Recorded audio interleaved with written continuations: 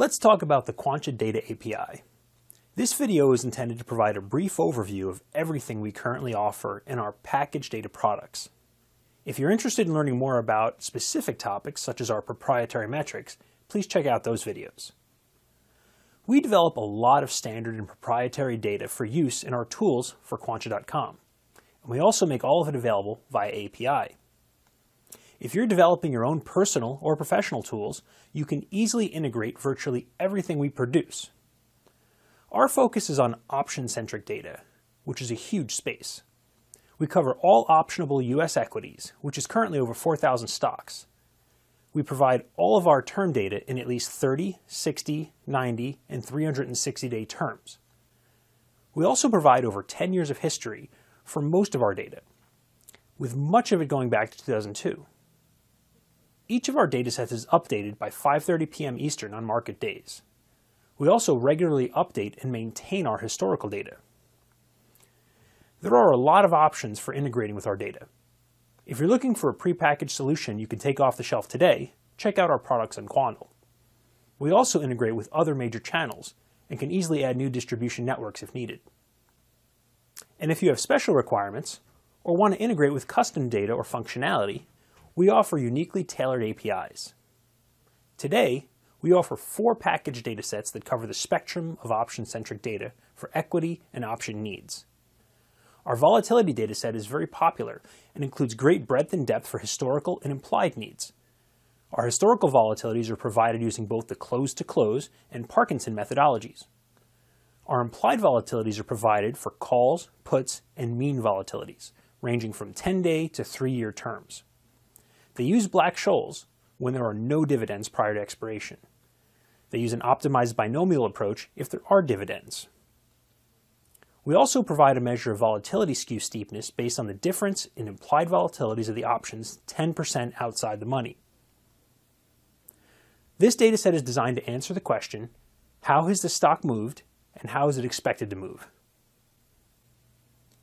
Our options rating data set is designed for options investors who focus on trading volatility. We provide a set of volatility valuation metrics, including our proprietary IV rating. We also provide comparable IV rank and IV percentile metrics. This dataset includes our proprietary earnings crush rate, which extracts the market's expected volatility crush following the next earnings announcement. And if it wasn't already packed with enough proprietary goodness, we also include our proprietary liquidity rating, this rating enables you to easily filter and sort candidate stocks by their ability to offer precise trades that are easy to enter and exit.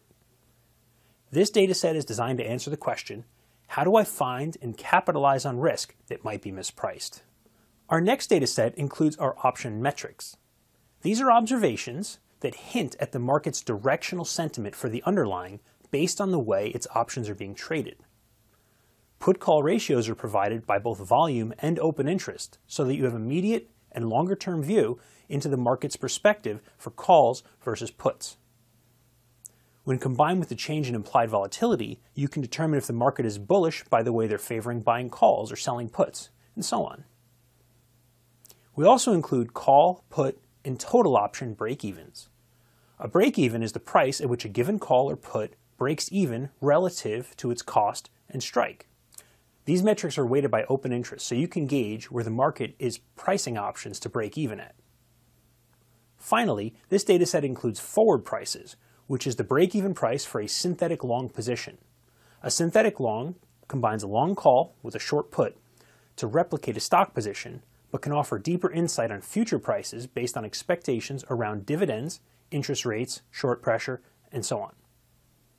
This dataset is designed to answer the question, how is the options market trading this stock? Our final data set includes our risk metrics. These are the data points that can be used to balance a portfolio relative to the market.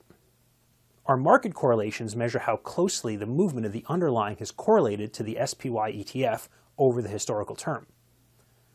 Our market betas are similar, but represent the underlying's return relative to SPY over the same term. Finally, we provide a measure of implied future beta, which is based on the decomposition of the underlying risk.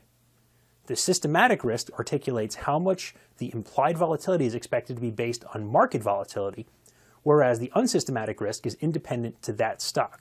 So to sum up, we provide virtually all the data we produce via our API.